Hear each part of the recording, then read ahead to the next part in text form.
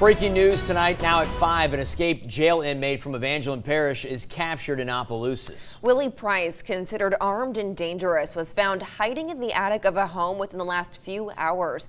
Even though he is back behind bars, folks in Evangeline Parish are concerned since this is the third jailbreak in less than a year.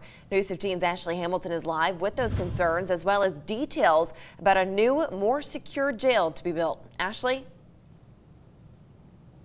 They all feel that this could actually happen again and this would become a reoccurring thing. Many do believe that with the new jail set to be starting construction, that this would stop escapes from happening. Others believe it all comes back to the security of the prison rather than the structure.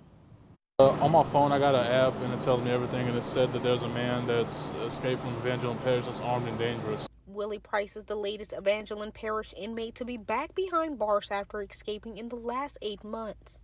Just two months ago, it was Jody Thrasher, and in November of last year, Deontarin Wilson. If they're finding ways to escape and it's like the third time, they need to get on it. One person tells News 15 there has to be a new way of thinking if so many escaped in a short period of time. There needs to be something done. If it's the third person to escape the same prison, then there's something that they're not clearly seeing around the jail, something the way they can get out, you know. Evangeline Parish has broken ground on a new prison set to be built to house a 200 bed facility for men, women, and youth offenders at Industrial Park. One resident understands the chatter behind the escapes, but is confident with the new prison set to be built, this won't be a reoccurring thing.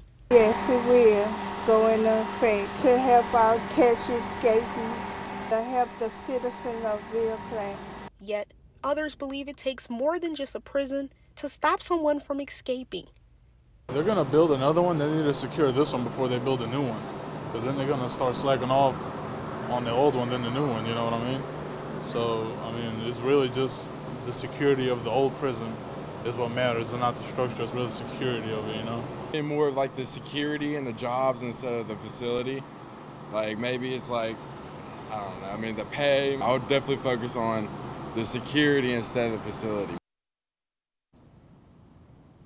With differences on the prison, the hope is that with the new prison, it will be safe and secure. Live in Evangeline Parish, Ashley Hamilton News 15.